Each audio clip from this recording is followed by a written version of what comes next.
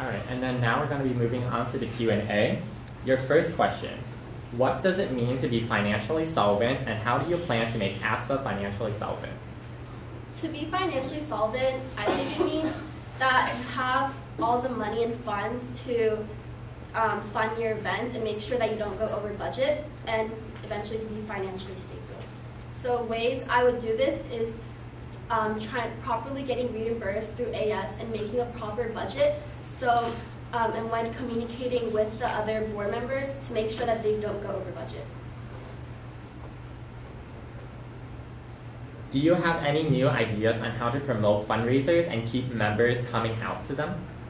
So as I mentioned earlier, I'd like to do joint fundraisers. Um, so it's a way to interact and meet with new people aside from just the organization. And also, rather for me, rather than quantity, I would like to have quality fundraisers. So I know for this year we did the Chipotle fundraiser, which was 50% of the proceeds. So next year I'd like to contact Chipotle again, and I would also like to have a goal of making all proceeds 25% uh, of whatever or the, whatever uh, we made. And this is going to be a scenario question. So the budget for an event was approved for X amount of money. How would you handle a situation in which an unexpected expense comes up in which the funds were not allocated for? So, um, so it means that there was additional funds that cannot be reimbursed? that were not approved?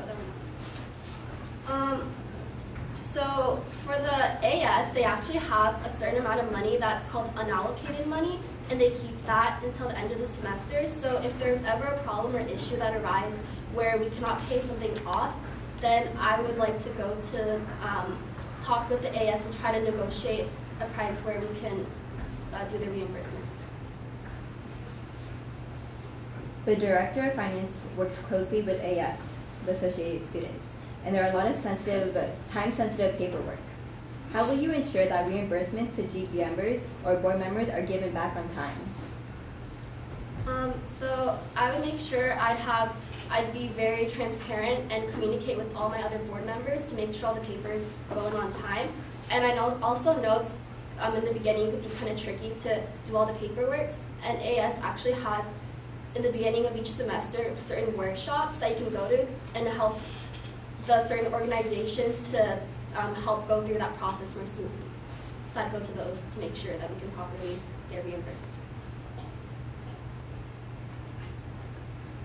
For reimbursements, when there is a mistake that a board member, there is a mistake that a board member is at fault for, how would you resolve this issue? Would it be through utilizing APSA money or would the e-board member be responsible for the cost?